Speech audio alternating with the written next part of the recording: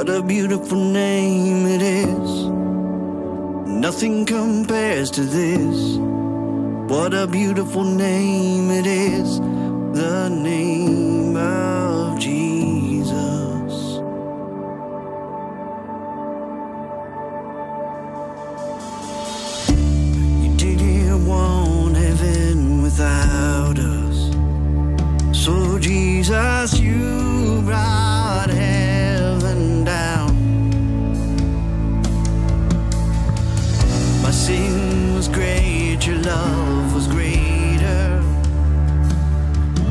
could separate us now. What a wonderful name it is. What a wonderful name it is. The name of Jesus Christ, my King.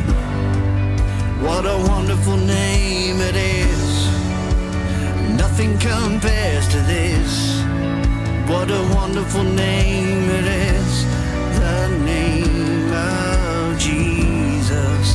What a wonderful name it is, the name of Jesus.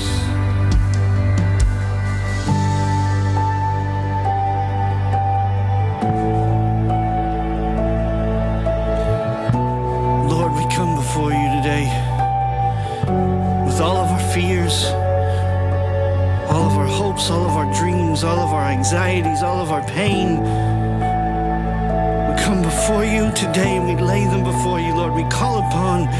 your name, your beautiful name, the name of Jesus we call upon you this morning, today, wherever we are. We need you, we love you, we praise you.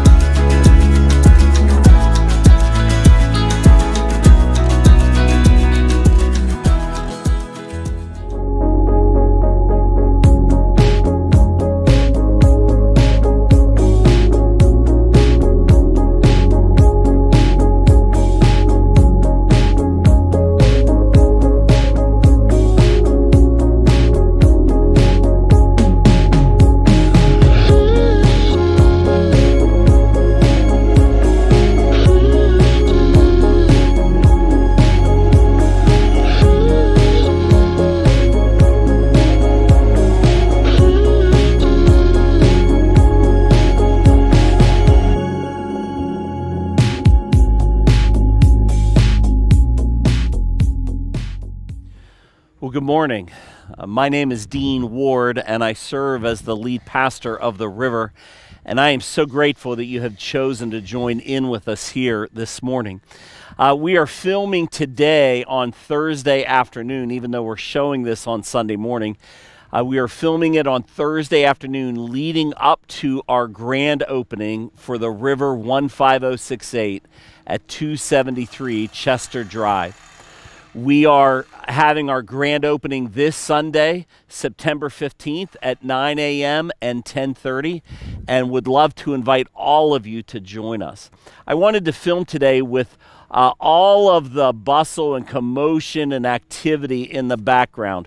We filmed outside this garage uh, eight weeks ago and there has been a transformation of epic proportions over the last eight weeks.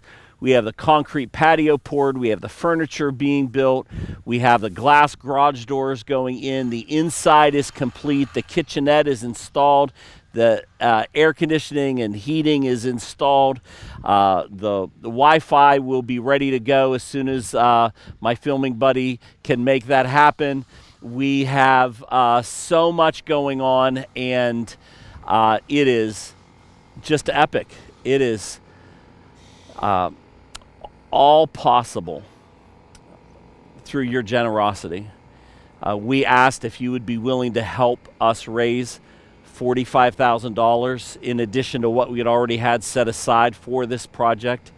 And you guys not only helped, you surpassed. Uh, to date, we've raised nearly $58,000 uh, for this renovation project. Um, I, I am just so moved by your generosity and cannot thank you enough. This space is going to be a shining light for the youth of all of 15068, a place for them to come and belong and connect and grow and thrive and build community in their lives. And cannot wait to see all that God does through this space. So, uh, they're getting ready for our grand opening. We're getting ready for our grand opening. The, the church is, uh, the painting is going really well. Hopefully, you'll be able to see that in the background of the second half of this sermon. And I cannot wait um, to see all that God has in store. Uh, this evening here, Thursday night, we're having a um, we're filming on Thursday, even though this is showing on Sunday. We're having a night of prayer uh, about an hour that we're just gathering together, asking God to move and to work and to do what He does. And uh, so I just, uh, I just ask that you pray with us and for us Um, and can we pray now? Father, we are so moved and humbled by the gift of what you have provided for our church that was losing its home, for the Church of God in Lower Burrell that was losing um, energy, and how you brought us together for a new future as the River 15068. I am overwhelmed with all that you are doing through so many people to help this space be ready. I am so grateful for this community and this zip code that we are called to reach. And Father, we uh, ask that you would go before us, that you would make the path straight, that you would bless, pour out your favor and anointing on your work here. May we get out of the way and celebrate what you want to do. And Father, may many, may hundreds and thousands of people come to faith in you and grow into fully devoted followers of you through the river 15068. In Jesus' name we pray. Amen. Whew. We are um, starting a new series of messages this Sunday and right now, just simply called First. First.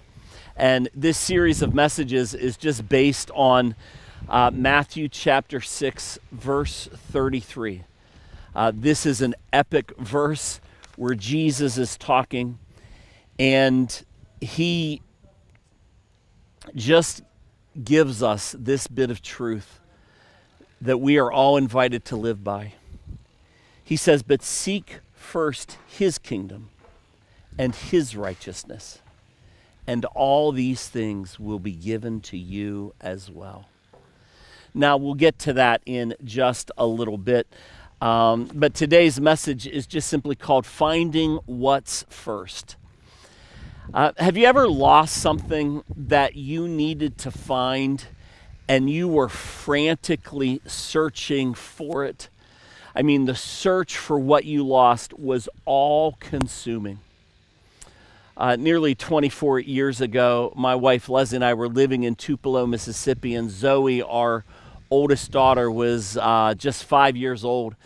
And we had uh, Abby and Alex as well. They were younger and younger and we had rented out our house for furniture market. So in Tupelo, being the furniture capital of uh, you know the, the world at the time, of America at the time, um, every, twice a year they would have vendors come in for a furniture show and there weren't enough hotels. So you could rent your house out for the week and this is well before airbnb and all of that went on. And so uh, we found out that we could earn a mere $800 uh, for the week by renting our house out. And uh, we were poor on one income and so every chance we got we rented this out so we had our house all cleaned up we were ready to leave and we were going to drive up to Pennsylvania. It was in uh, August, I believe. We were driving up to Pennsylvania for the week, and we were ready to load the car, and we could not find Zoe. Uh, Abby and Alex were accounted for. We couldn't find Zoe. She was not outside playing, but we searched outside. We walked through the house. It was not a big house, just a modest ranch, three bedroom, two bath. Uh, we were we were looking everywhere for Zoe. And the longer we looked, the more frantic we got in our searching for her. Uh, and then we, we really got panicked. Like there was nowhere else to look on our property that she could be. I mean, we looked under every bed, we looked in every cabinet, uh, we looked everywhere. And before we called the cops, uh, we were just we were we didn't know what to do. And we were in our bedroom and leslie was just so exasperated she just yelled where is zoe? And she plopped down on our bed that was made with all the decorative pillows uh, at the headboard. You know uh, like how popular it is to have so many pillows on your bed that it almost looks like 10 bowling pins lined up. Like if you could just knock all the pillows down, you'd get a strike. Well, she, she flopped on the bed, screamed, Where is Zoe? Uh, in an exasperated voice, and she leaned up against the pillows that were tucked along the headboard of the bed, and she was like, and she started patting the big pillow, and she pulled the big pillow away, and Zoe had fallen asleep on our bed along the headboard, and Leslie had covered the headboard in making the bed with the pillows. And Zoe was fast asleep through it all, safe and sound, right on our bed. well, the immediate exuberant relief was uh, quite a relief. And then the disbelief that we had looked for her so hard, and she was there with us the entire time. This verse is a critical verse. Jesus is teaching in Matthew chapter 6 about all the things that we seek first in our lives, all the things that we let consume us, all the things that we look at in a wrong way and it causes anxiety and worry and stress. And Jesus says, why do, why do you guys worry about all of this? What you're going to eat, what you're going to wear. He, he said, the Heavenly Father, he, he will provide all of these things for you. He said, Consider the lilies of the field and the birds of the air. You know, they don't toil, they don't work, they don't, and yet they have all that they need. And Jesus is saying, if you if you spend your life putting first in your life the pursuit of all of these things as the most important pursuit in your life, that, that you will be empty. And Jesus is saying, no, don't, don't seek that first. Instead, seek first the kingdom of God. Seek first his righteousness. And then guess what happens? All of this other stuff that you worry about, that, that just gets added to you. I, I, saw this in a tangible way this week. My son was lamenting as a young adult that occasionally he goes to buy groceries and how expensive they are. And he's like, I know years and years from now, groceries are going to be so expensive. And he's, you know, starting to build up all this anxiety. I'm like, it's okay. it's okay. You're, you're going you're going to make it through. It's going to be okay. And Jesus was noting that his followers have a propensity to worry and get stressed out of things that the Father is watching over you for. That we, when we pursue things first in our life, we are left empty and hollow. And Jesus wants us to know that when we seek first his kingdom and his righteousness, all these things will be added to us. Uh, I love the way Ecclesiastes shows uh, one whose life was built about the frantic acquisition of more things. and at the end of his life, he looks around in Ecclesiastes 2:11 and says, "Yet when I surveyed all my hands had done and what I had toiled to achieve, everything was meaningless, a chasing after the wind. Nothing was gained under the sun." And Jesus wants us to understand when we find ourselves caught in the pursuit of everything else, when our pr- focus of our life is about accumulating things and acquiring our um, our goals that are set to acquire things that that is a very empty way to live our lives and he just speaks to us and says hey seek first my kingdom. Seek first my righteousness. Seek first the kingdom of God. Seek first God's righteousness. And everything will be added to you. You will have surplus. You will have abundance. I, I want to invite you to consider something. Uh, when we look at seeking first the kingdom of God, uh, sometimes we think, okay, I'm going to make God number one in my life. And we, we make say, God's going to be my number one priority. And then you can't find your daughter because she fell asleep in your bed and you covered her with pillows and suddenly she's the number one priority in your life. Finding her is the number one priority. And then and then you're driving to work and you run out of gas and then all of a sudden uh, getting to work becomes the number one priority in your life. Or if you're like me and it's time to eat and you haven't eaten for a while and you begin to get very angry and and your hunger is taking over your life and getting that food is the number one thing in your life uh, then where does god fit in all of that well, I just, uh, I just want to help us with this because a significant shift happened in my life when I began to view Christ and invite Christ to be at the center of my life. Because when Christ is at the center of my life, yes, I'm seeking Him first, but everything flows out of that. And so when I'm on my way to work, the pursuit of my career and my calling, uh, that flows out of my love for God and Him being at the center of my life. Uh, when I'm hungry and need to eat, that flows out of Christ being at the center of my life. When I'm frantically looking for someone that I love deeply that I cannot find, that flows out of Christ being at the center of my life. And so I want to invite you to consider as you seek God and His kingdom first above all else, that you will look at that as making a commitment for Christ to be at the center of your life and at the center of everything you do. I want to invite you to just take a moment and enjoy this video together with us.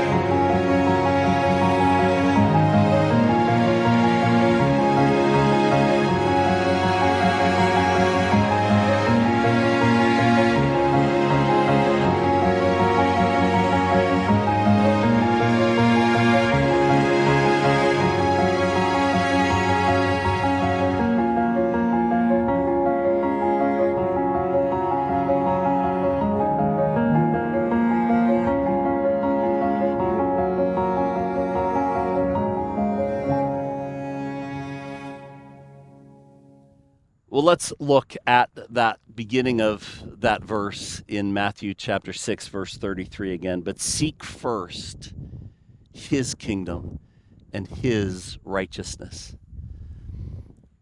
I, I want to let you know that God is closer than you think. God is closer than you think. Uh, just as Leslie and I were so frantically searching for Zoe and we couldn't find her anywhere, only to find out that she was there all the time. We just didn't see her. And in fact, my wife covered her up inadvertently with the pillows when she had fallen asleep along the headboard. She was there all along.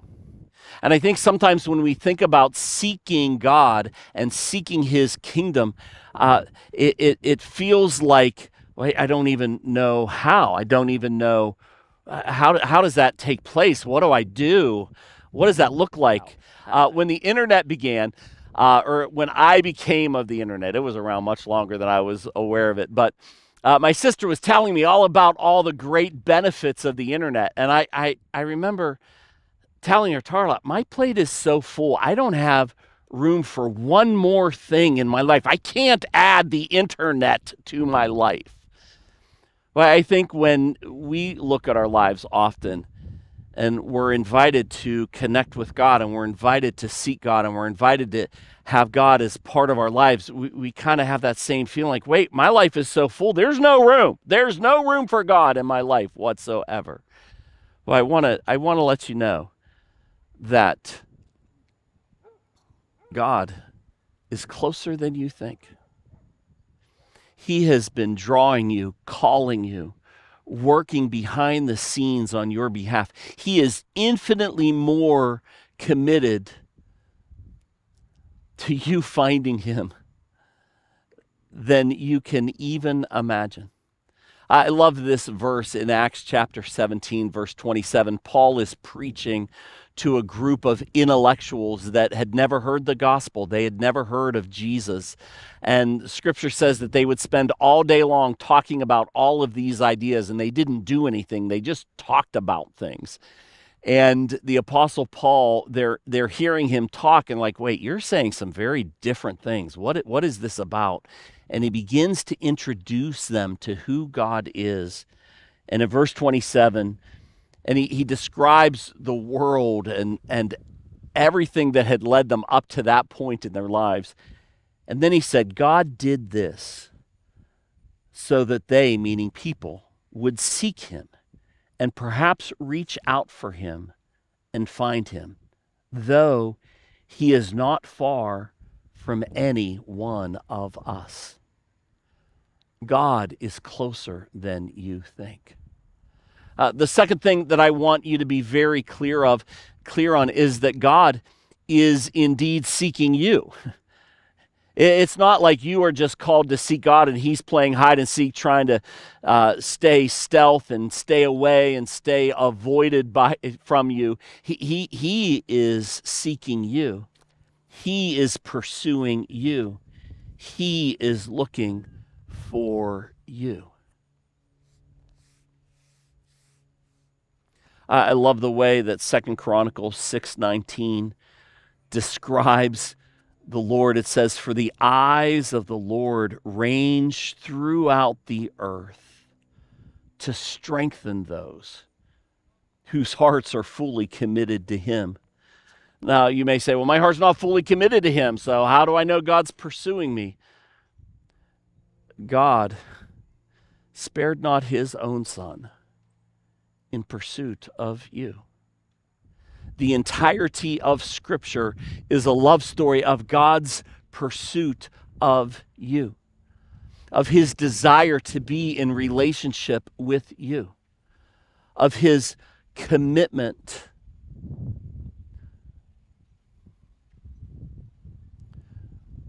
To connecting with you, of walking with you. God indeed is pursuing you. He is chasing you.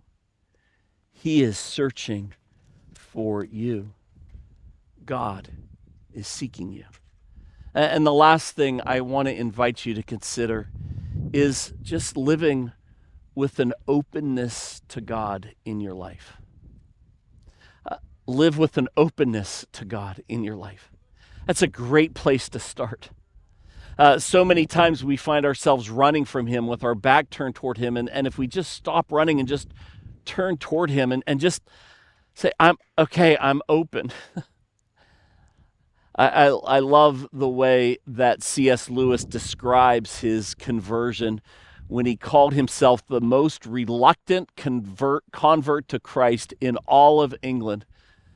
When he crawled out of bed and knelt by his bed after all his resistance, all his running, he just finally said, Okay, God, you win. You win. Uh, when we choose to live with an openness toward God in our lives, th- things begin to change. First of all, you get, you get surprised at how gracious God is. I love the way just Jesus describes this invitation to live with an openness to him in Revelations chapter 3, verse 20.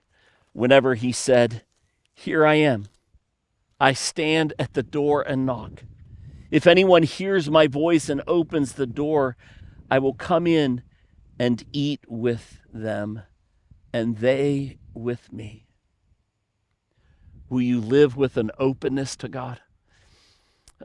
James chapter 4, verses 8 and 10 describe it this way James says, Come near to God, and he will come near to you. Humble yourselves before the Lord, and he will lift you up. I don't know where you have been in your journey with God. Perhaps you've been walking with Him for a very long time, or perhaps you've been a church person trying to fill that void just with endless activity, doing all these things for God, serving God, looking around saying, I'm doing more for God in this church than anybody else. And, and you start to build a resentment toward God. Is that not kind of that pursuit of things in our lives that find us empty? If, if you serve God and often have bitterness that no one is working as hard as you, serving as hard as you, doing what you, uh, the things that you're doing, caring as much as you're caring, then I, I want to invite you just to take a step back and open yourself to God. Put a pause to all the frantic trying to fill that gap and pursue things first and just open yourself up to God. Open yourself up to His love and His grace and His forgiveness and His joy and His life. And all these things will be added to you. If you are claiming to be a follower of Christ and you are miserable, then something's broke. Because when we seek God, His kingdom, and His righteousness first, it's not like adding one more thing to our plate. It's like putting a place setting before us that has more room and space and margin than we could ever imagine. And so I want to invite you today just to take that next step toward Christ. Just open yourself up to Him. For me, the first notable time I did that was when I was five years old and I just invited him to come into my life. I remember being led in a prayer by a Good News Club teacher as a five year old little boy. And she just asked, Do you want to ask Jesus into your heart? And I opened my life to him for the first time. And that was the beginning of everything. And so I just want to ask you do you want to open your life to Christ today? If you do, take this step toward Him. I just want to invite you to pray with me, confessing your desire to open your life to Christ. Let's pray together. Dear Jesus, thank you for pursuing me.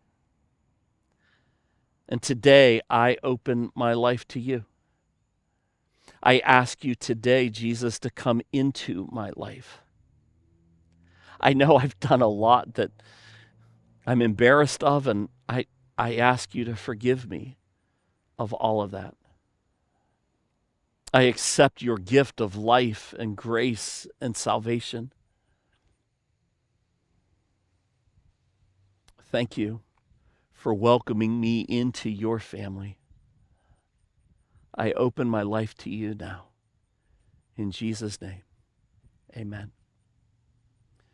I, I just want to ask if you've opened your life to Christ today or previously, don't stop. Wake up every day with a posture of openness to Him.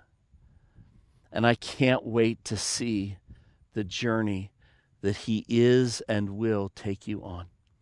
Amen. God bless you, everybody. Thank you so much for joining us in with us today. I can't wait till I get to be with you guys again next week. God bless.